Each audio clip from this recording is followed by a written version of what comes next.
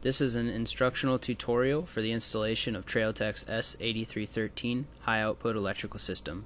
This will cover the 2007 through 2010 KTM 450, 525, and 530 EXC Racing, EXCR, and EXC Champions Edition. To start, remove the seat. To do so, locate the 8mm fastener under the rear fender. Once removed, lift and remove the seat. Remove the right and left side radiator shroud fasteners. Again, using your 8mm socket, remove these fasteners. To remove the right side, you will also need to remove the horn and horn bracket. To do so, disconnect the two spade terminals found behind the horn body and remove from the machine. Turning off the fuel on the petcock, we're now going to remove the fuel line, followed by removing the final 8mm fastener found under the seat, holding the tank to the frame rail.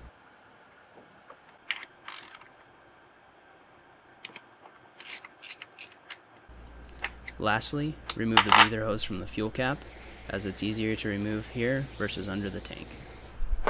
Once removed, spread the radiator shrouds away from the radiator, releasing it from the machine, and lift it off. With the tank removed, locate the stock lighting connections. These will be identified as a single yellow wire with a spade terminal and a single white wire with a spade terminal. Disconnect these from the stock harness and stock stator, as well as the 2-pin blue ignition plug. To proceed, we will need to now drain the oil.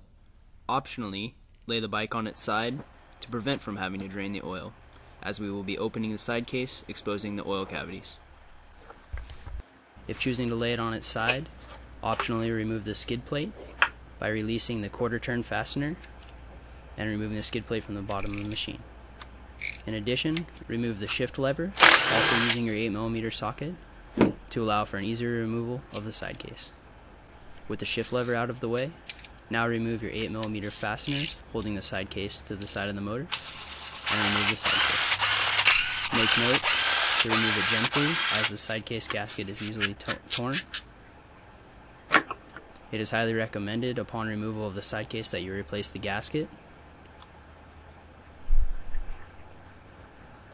If the gasket is removed and a new one is installed, take care to clean the surfaces of both the outer case and inner case prior to reinstallation. With the side case successfully removed, we are now going to remove the stock stator core. To do so, you will need to use your number 20 Torx bit to remove the fastener holding the wire guide to the inside of the side case.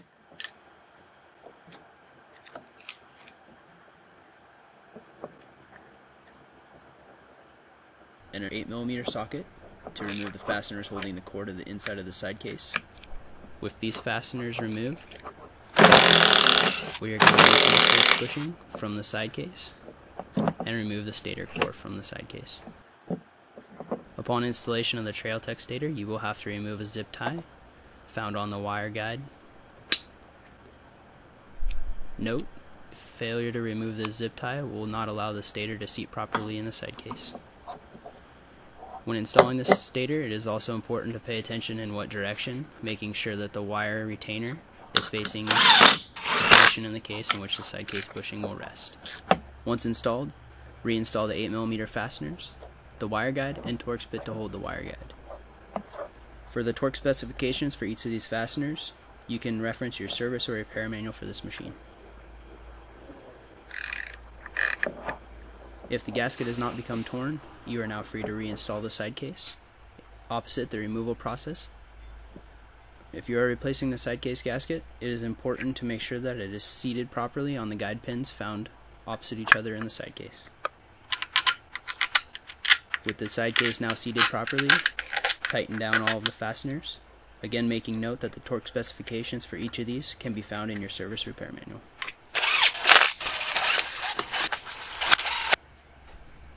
Reinstall the shift lever, again paying attention to the torque specification, as well as reinstalling the skid plate, making sure that the quarter turn fastener is locked. With these installed, you can now stand the machine upright.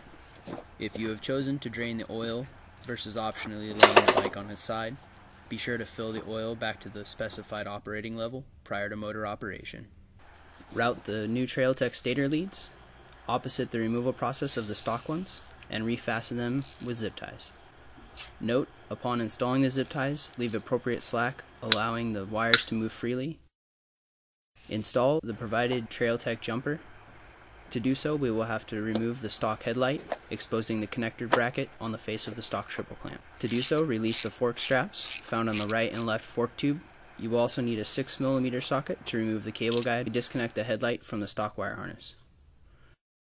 With the stock headlight removed, we are now going to locate the 2-pin switch DC power connection on the OEM connector bracket found on the face of the triple clamp.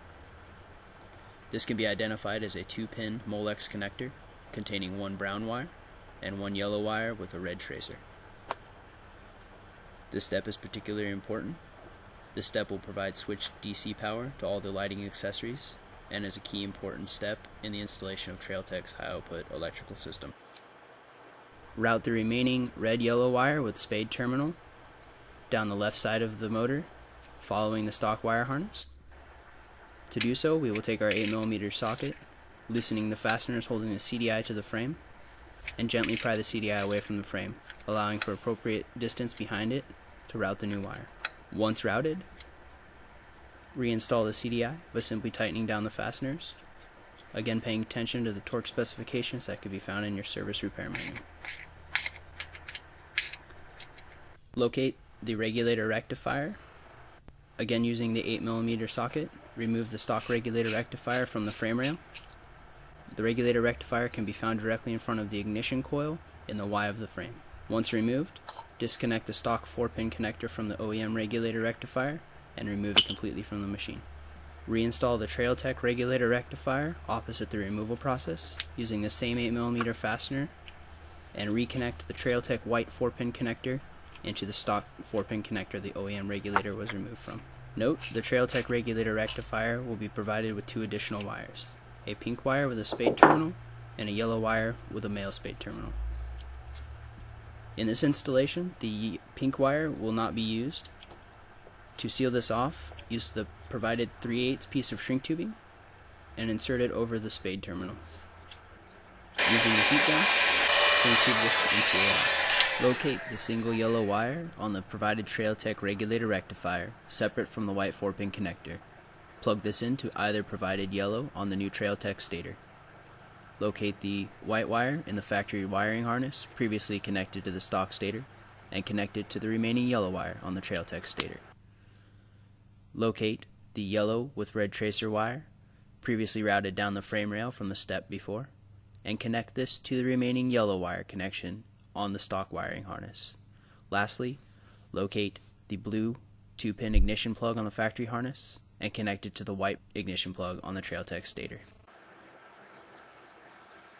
Route and bundle all wires cleanly under the tank, allowing for proper clearance of the fuel tank, and zip tie them up out of the way. Again, making sure to leave appropriate slack to not pinch or bind these wires. Reinstall the stock headlight opposite the removal process. With the stator and regulator now installed, we're going to reinstall the fuel tank. The fuel tank will reinstall opposite the removal process. Start by seating the fuel tank down on the frame rail, again assuring that none of the wires have been caught or pinched with the fuel tank being reinstalled. Reinstall the fastener on the frame rail. Reinstall the breather hose onto the fuel cap. And reinstall both left and right side radiator shroud fasteners. Again making note that the right side radiator shroud also holds the bracket and horn body. Upon installation of the horn, you will need to reinstall the spade terminals removed from earlier to the power and ground terminals on the back of the horn body. To finish this, we will install the fuel line and retainer back onto the petcock.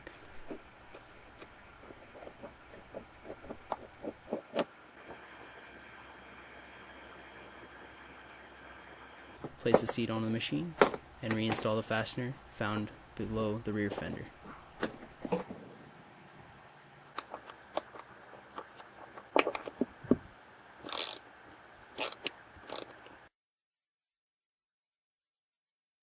You've now completed the installation of Trailtech's S8313 high output electrical system.